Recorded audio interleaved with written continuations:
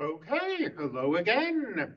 One week down, and I hope your semester has been going well. We are going to finish out some material. Um, my online students will have already seen this. We came close enough to finishing the section that I didn't want to mess around with due dates, but we'll finish section 1.2. And what we've seen of section 1.2 is Gaussian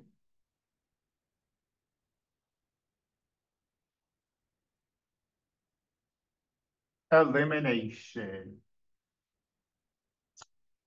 And um, Gaussian elimination lets us take a matrix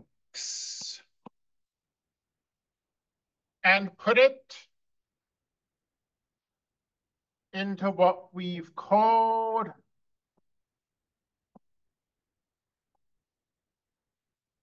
row echelon form. And we've seen that if a matrix is in row echelon form, then the if an augmented matrix is in row echelon form, I should say,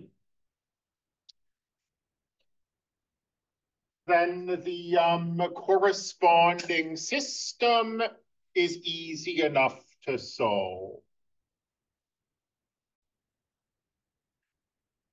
So we've said that if a matrix is in row echelon form, again, an augmented matrix, that's an important word I keep forgetting, then the corresponding system is easy enough to solve. But we've also seen that solving the corresponding system is kind of a pain. I mean, if we have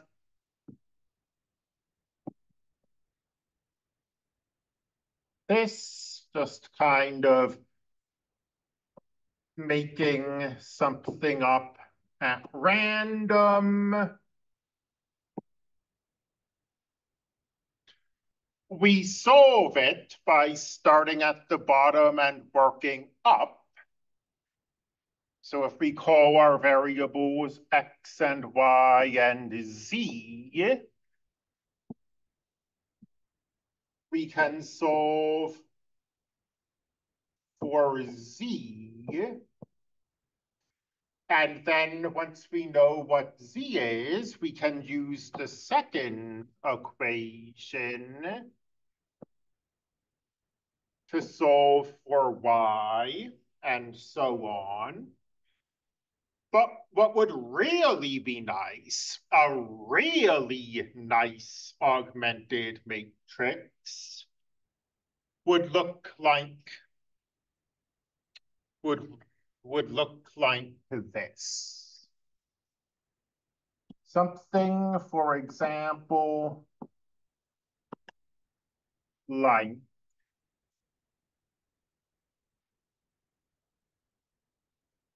this matrix. Because if the augmented matrix looks like this, you can um, solve for x and y and z instantly in your head without having to do any real work.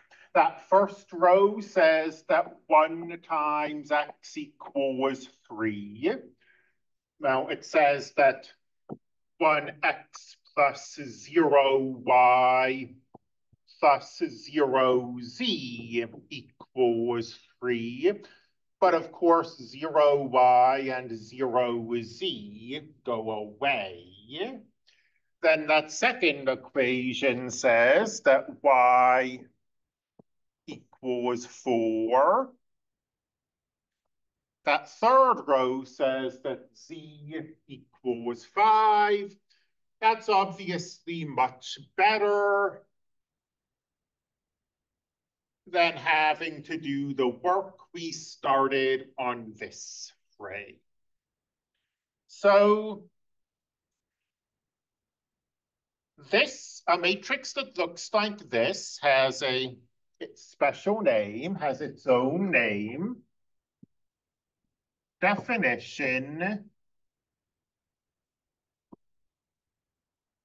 a matrix is in reduced row echelon form if, well, reduced row echelon form is like a super row echelon form. So to be in reduced row echelon form,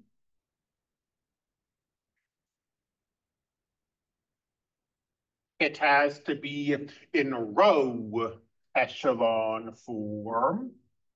Additionally, the leading entries have to be one. Remember that the leading entries are the first non-zero entries of a row.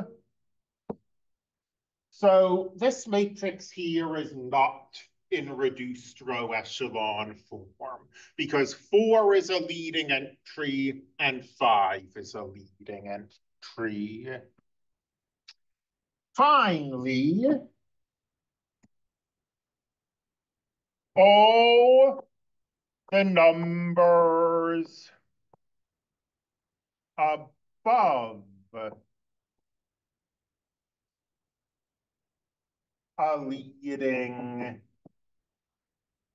entry must be zero. This third condition should sound quite familiar when we were talking about regular row echelon form. We said that all of the numbers below a leading entry must be zero. So this matrix is in row echelon form. And you see the numbers below the leading entries are indeed zero, but in addition to the leading entries not being one, the numbers above the leading entries are not zero, which also keeps this from being in row echelon form. Sorry, reduced row echelon form. This matrix is in reduced row echelon form. You look again at the conditions. Those three ones are the leading entries. The leading entries are all one. It's in row echelon form. The numbers below the leading entries are zero. Furthermore, the entries above the leading entries are all zero. So this is a matrix in reduced row echelon form. And we were able to just read the solutions off without mucking around with equations like this. So when we're solving a system of linear equations, reduced row echelon form is better than row echelon form. But how do you put a matrix into reduced row echelon form? Well, Again, reduced row echelon form is like a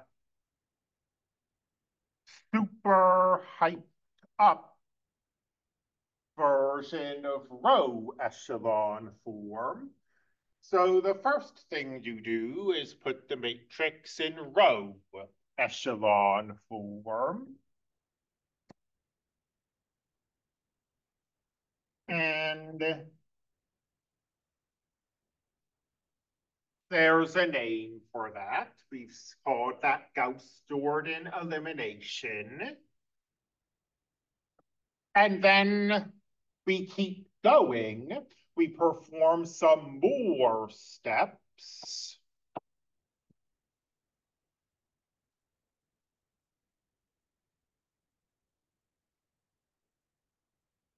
And we get the matrix into reduced row echelon form.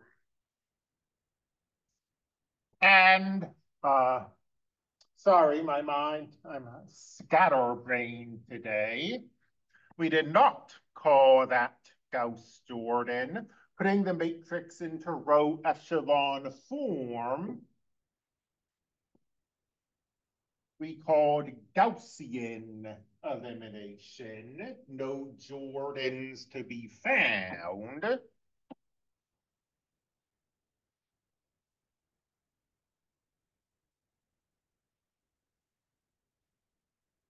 Going the whole hog and putting the matrix into reduced row echelon form, that is Gauss-Jordan elimination.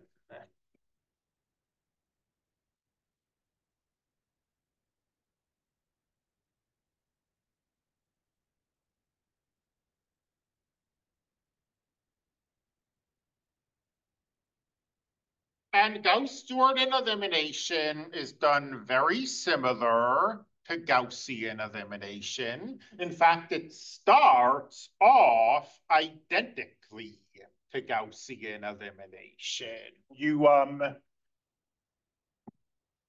kind of repeating myself, but this Gaussian elimination is part of the Gauss-Jordan elimination.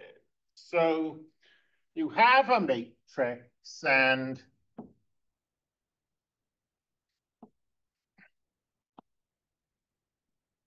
it's not in any kind of reduced form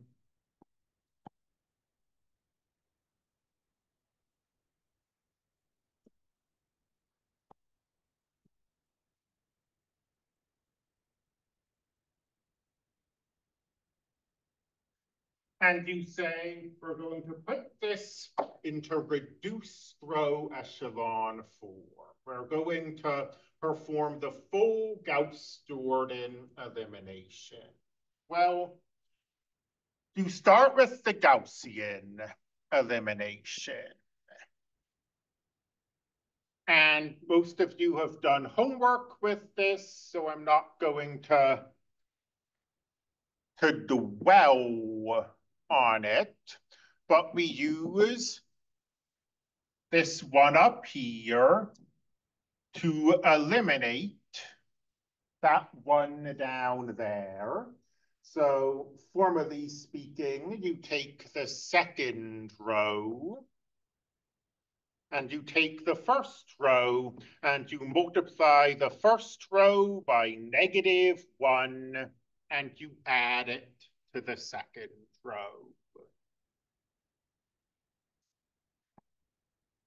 And we then get um, zero and two and zero and zero. Okay, wasn't expecting all those zeros, but no harm done. And now we'll use the top row, we'll use that one I have a box around to eliminate this two down here. So we can multiply the first row by negative two and add it to the third row.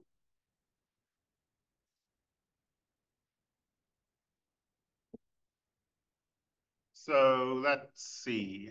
Zero, negative three, negative five, negative one.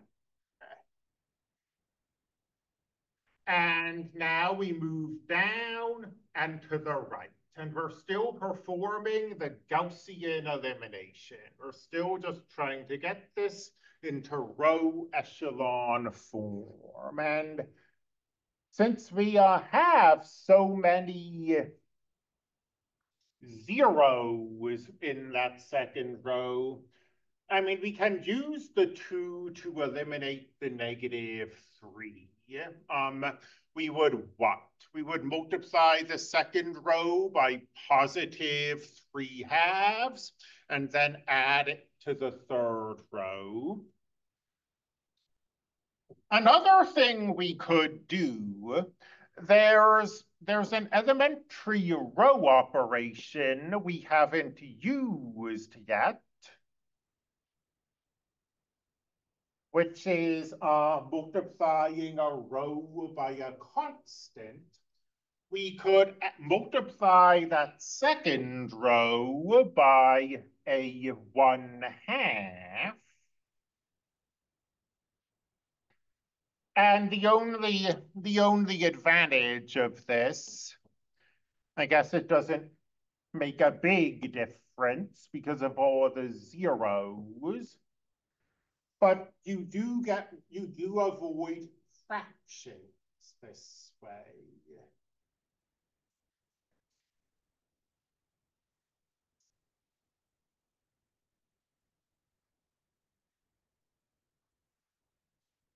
And now continuing with the Gauss-Jordan elimination. At the moment, we're still in the Gaussian stage of things. Moving down and to the right, we want to use that one to eliminate the negative three below it.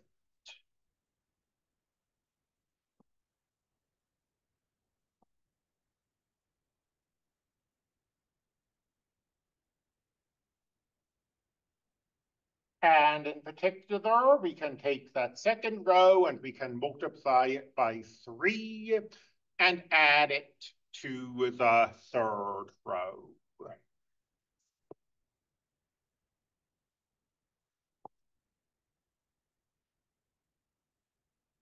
Again, all of those zeros are making this uh, kind of flukishly easy because, of course, zero times uh, three plus zero is still zero. Zero times three plus negative five is still negative five.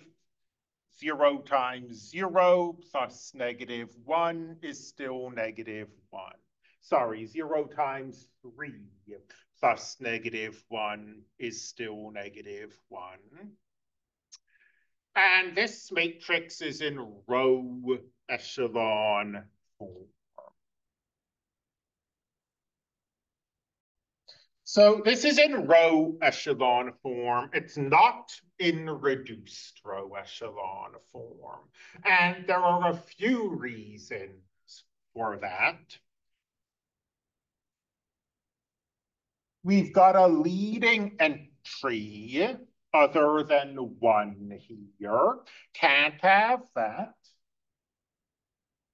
And we have this three, which is above a leading entry and is not zero. And we have that two, which is above a leading entry and is not zero. So three things stopping this from being in reduced row echelon form. Um, notice, by the way, um, it's only the leading entries we're asking questions about here. So this last column is perfectly fine. There are no leading entries in the last column, so nothing has to be a zero.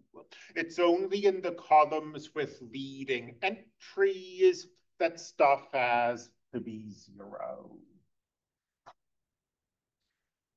So I mentioned this before, but um, when you perform row echelon, when you perform Gaussian elimination and put a matrix into row echelon form, um, there's an elementary row operation that you never have to use.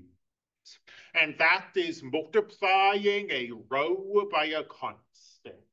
Um, you can always perform Gaussian elimination using just two of the three elementary row operations.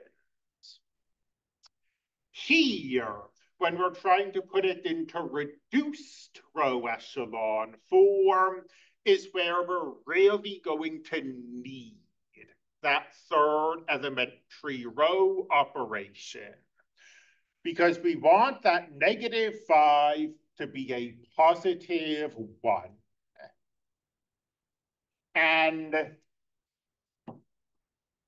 we can accomplish this if we multiply the third row by negative one fifth. That will turn that negative five to positive one.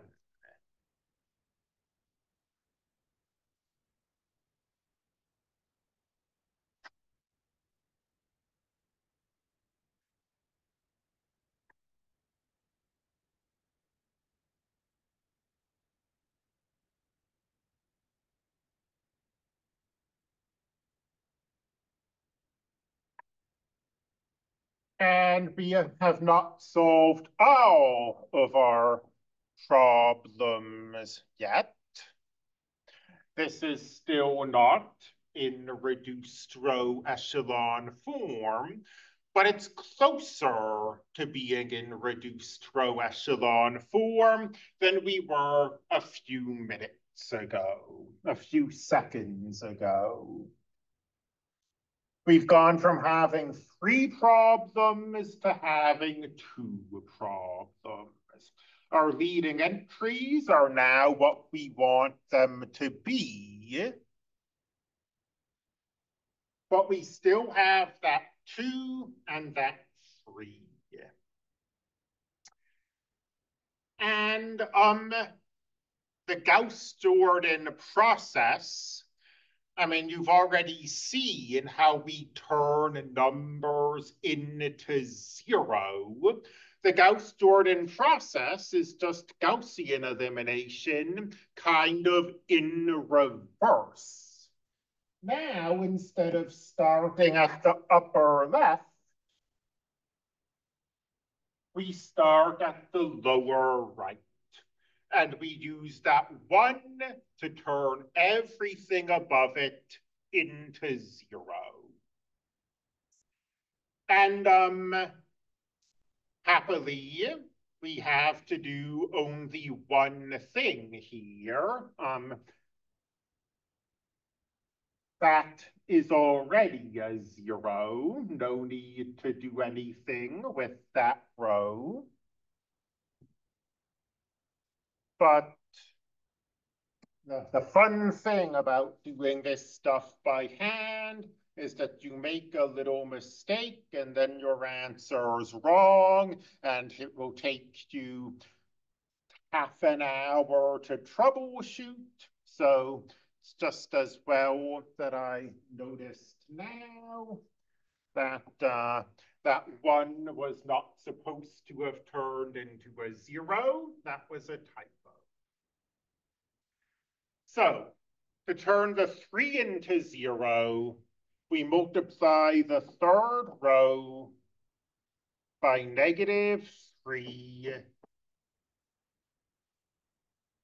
and we add it to the first row. And it's sort of unfortunate that we're out of space here.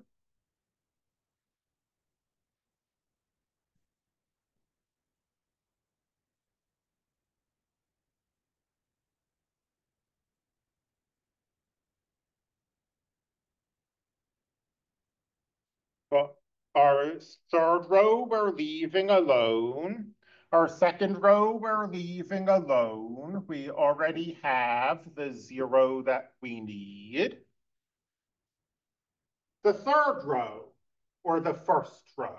Okay, so we multiply the third row by negative 3 and add it to the first row. And notice that the 1 and the 2 don't change.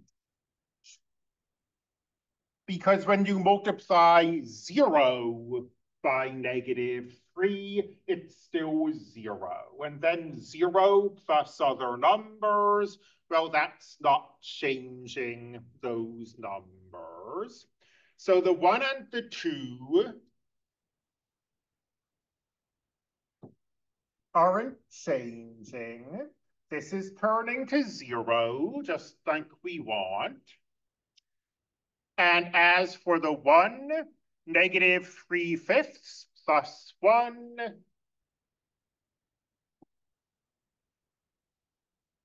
is positive two fifths. And now we're almost there. We keep moving up and to the left. Again, this is sort of the opposite of the first phase. It's the opposite of Gaussian elimination, where you move down and to the right. Here, we now move up and to the left, and there's our next leading entry and we'll use it to get rid of that 2 sitting above it. So we can multiply the second row by negative 2 and add it to the first row. And again, notice that in the first row, a lot of entries just don't change because we have these zeros, and negative 2 times 0 is 0. Adding 0 doesn't do anything. In fact, in this particular example, the only thing that changes is that that 2 turns to 0.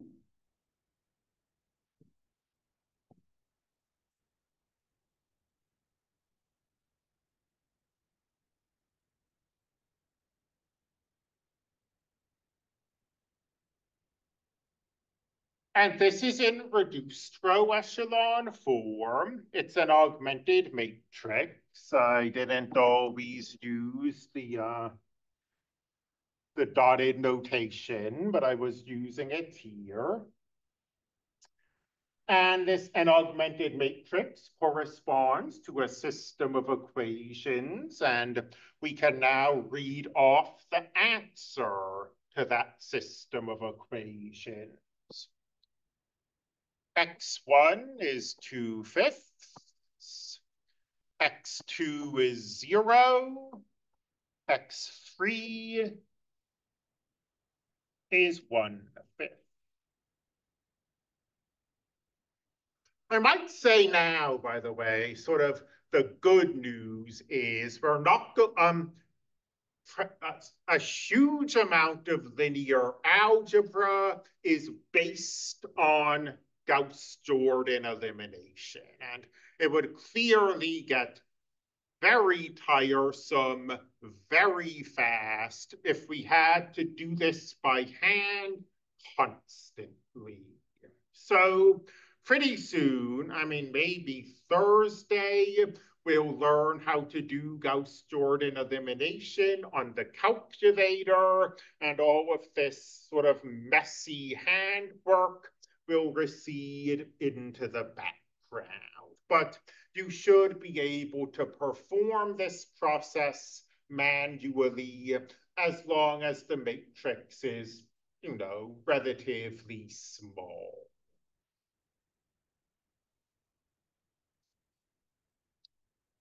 Um, so that's Gauss-Jordan elimination. A few comments. Um,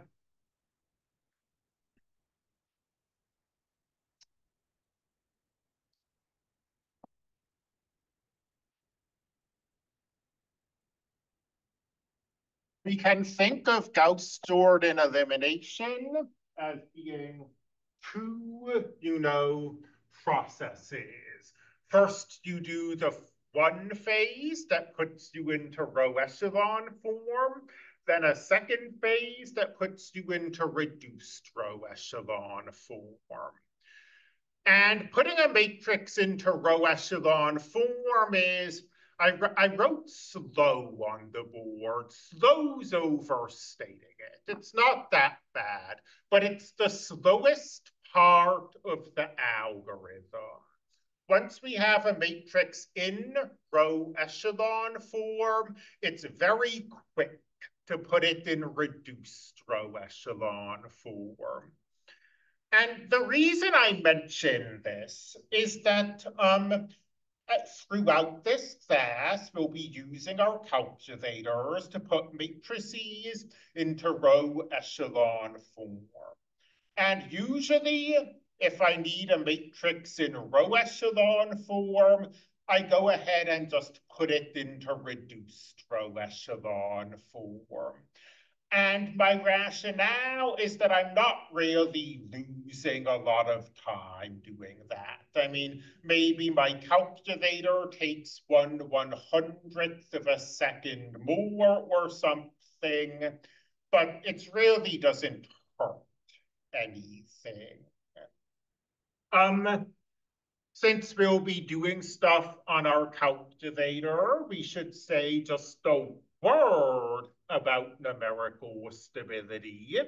This is not a numerical linear algebra class, but occasionally we do have things to say about the algorithms we use.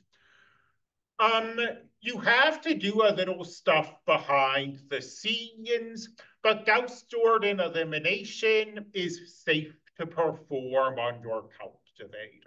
It's what we would call numerically stable.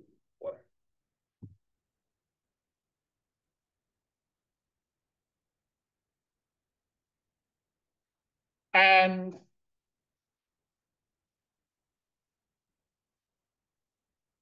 I mentioned that, that this process, you can think of it as first row echelon form, then reduced row echelon form.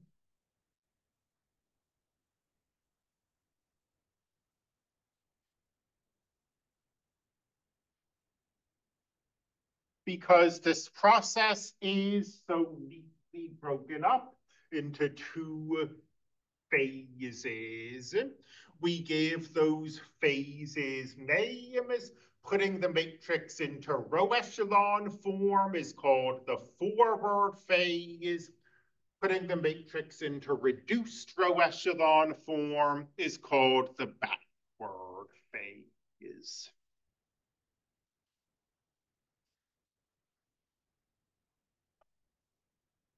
and I feel like I slightly lost the plot and rambled a little earlier.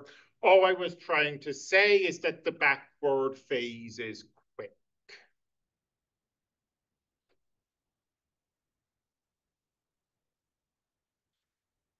And that's Gauss-Jordan elimination. We could do more examples, but we're very slightly behind. It's not a problem as yet, but I am going to move forward and you can look at our online videos or the textbooks if you want further examples.